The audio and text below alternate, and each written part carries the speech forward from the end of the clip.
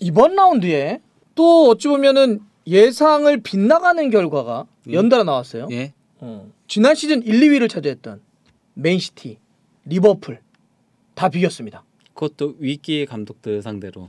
그러니까 아니 네, 그러니까 만약에. 뭐 아니 뭐 이 팀하고 비기는 건 뭐 그럴 수 있지도 아니고 리버풀은 에버튼 예. 예, 여기가 지금 강등권 간다 간다 하잖아 램파드 이번- 감독. 그것도 이번 시즌 승리가 없죠. 예. 그리고 맨시티는 아스톤 빌라. 제라드 감독 지금 막 뭐 잘리네 뭐네 막 이런 말이 예. 있을 정도로. 심지어 뭐 아스날하고의 경기에서 아스날 팬들이 그런 노래까지 불렀었죠. 음. 그래서 지금 리버풀은 머지사이드 더비 에버턴 지역 라이벌 경기에서 골 없이 0대 5로 비겼고 예.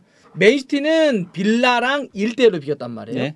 두 팀이 아니 지난 시즌 사실 거의 너무나 다른 18개 팀하고 차이가 이만큼 벌어졌다. 예. 맨시티 리버풀을 다른 팀들이 뭔가 이렇게 좀 어, 비벼 들어간다든지 어, 쉽지 않다. 뭐 이런 얘기를 했었는데 이번 시즌 초반에는 그 정도는 아닌 느낌도 있고 이번 라운드만 보더라도 어쨌든 다 강단, 간당간당한 팀들에게 좀 비겼는데 왜 이럴까? 사실 지금 보면 리버풀은 좀 더 심해요. 안 좋죠. 2승 3무 1패야. 예. 현재 6위지만은 더 내려갈 수도 있죠. 아니 리버풀은 오늘도 골 못 넣었는데 예. 누네스 얘기를 안 할 수 없을 것 같아요. 일단. 예, 그렇죠. 박치기 징계 받았다가 돌아왔는데 예. 어 이- 이거 좀 리버풀 팬들은 야 요거 약간 좀 사기 당하는 기분이다가 들 정도로 예를 들어서 무슨 얘기냐면 돈 억수로 들었잖아요. 예. 어, 대충 한 6천만 유로가 넘어요. 대충 예. 한 천억 뭐 근처라고 홀란드보다 해. 더 위에요. 예. 예. 아니 만에 빠지고 이제 데려왔는데 예. 이게 됩니까? 그러니까 오늘 경기는 솔직히 잘했어야 돼요. 왜냐면은 본인 때문에 초반 그 리버풀의 부진이 시작됐다라고 봐도 무방하거든요. 그러니까 음. 뉴캐슬전에 퇴장당했었잖아요. 그때부터 이제 리버풀이 흔들리기 시작했던 거였는데 음. 근데 오늘 경기 굉장히 부진했어. 그러니까 슈팅을 무려 여섯 번이나 가져갔는데 골이 없었고요. 그리고 또 유효 슈팅도 두 번밖에 없었습니다. 그러니까 슈팅 대비 슈팅 정확도도 굉장히 좋지 못했어요. 아 슈팅도 빵빵 뜨 이렇게 막 뜨고 예. 그다음에 애가 오늘도 그러는데 왜, 왜 이렇게 자기 성격이나 성질을 컨트롤 못하지? 예, 그러니까 심판하고도 한번 크게 붙은 어. 적이 있었죠. 어. 예, 리버풀 팬들에게 가장 큰 악몽은 돈 많이 주고 사왔던 앤디 캐롤 있잖아요. 예, 지난번 BBC가 어, 그런 얘기도 했잖아. 어, 신경질적인 앤디 캐롤 같다. 예. 근데 어 누네스가 이게 정확도도 좀 디테일이 좀 떨어지는데 예, 컨트롤까지 잘 못하는 이런 모습들. 예, 감정 컨트롤이 안 되는. 어. 예. 그리고 상대도 이제는 조금씩 건드리는 것 같아요. 그, 일부러 예, 자극하는 것 같아요. 경기 누구랑 붙었었는데 하다가 예, 보니까. 한번 붙은 어, 적 붙은 적도 있고. 예. 일부러. 어. 그러니까 지금 이 중심축이 돼야 되는 누네스가 안 좋으니까 뭐 살라라든지 디아스도 그렇게 폭발 력까지는 예. 가져가지 못하는 것 같고. 거기다가 차라리 교체 투입된 피르미누가 더 위협적인 슈팅들을 계속 날렸었죠. 음. 예. 피르미누는 누네스가 징계로 빠졌을 때도 자기 역할 충분히 했으니까. 네, 그 초반에 굉장히 안 좋았다가 그 다음에 이제 연속골 넣으면서 살아나는 모습이었죠. 피르미누 같은 경우는.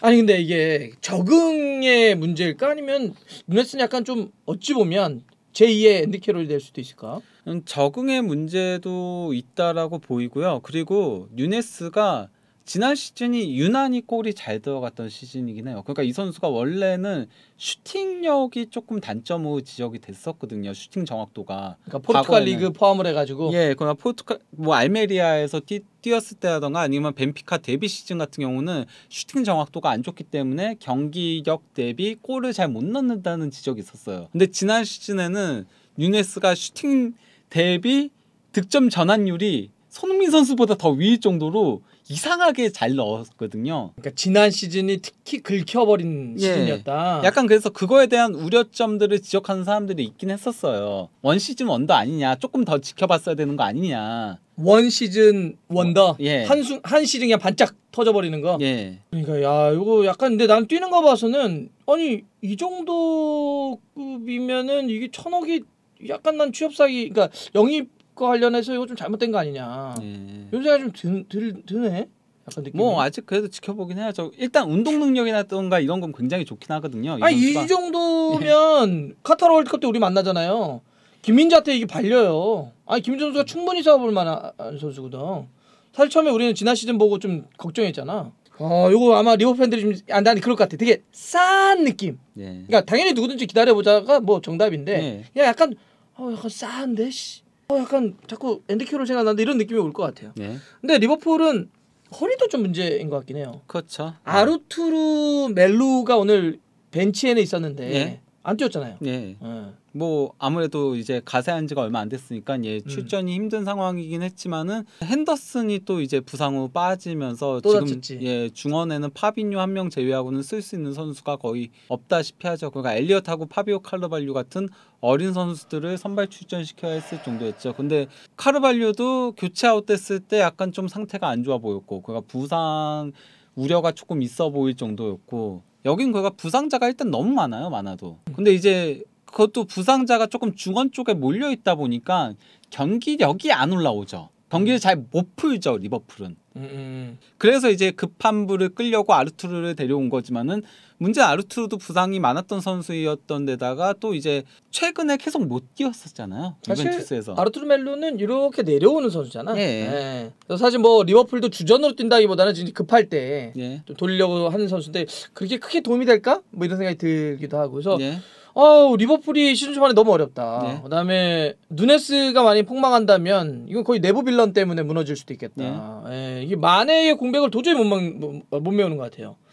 자 이렇게 이제 그래서 결국 비겼다 이렇게 말씀드릴 수 있을 것 같고 그래도 픽포드의 활약상은 빼놓을 수가 없죠 아이 경기는 미쳤죠, 그쵸. 예. 사실 픽포드가 어마어마하게 막았지. 아, 그가 피르미, 입장에서는. 피르미누가 이 경기에서 골에 가까운 장면을 세 번 만들어냈거든요. 교체 그래서 투입돼서. 예 슈팅 3회 다 유효 슈팅으로 가져갔는데 그 특히 막 굴절된 거 맞고 막 이런 거 완전 미쳤더라고요 오늘 음, 픽포드가 음, 음. 예 그래서 오늘 픽포드가 무려 9개의 슈팅을 선방했습니다. 아하. 예, 그래서 그- 그렇게 해서 리버풀은 공격 쪽이나 미드필더 쪽이 너무 안 좋았고 예. 반면에 에버튼은 픽포드 골키퍼가 완전히 날르면서 예. 어, 무승부를 거둬냈다. 예.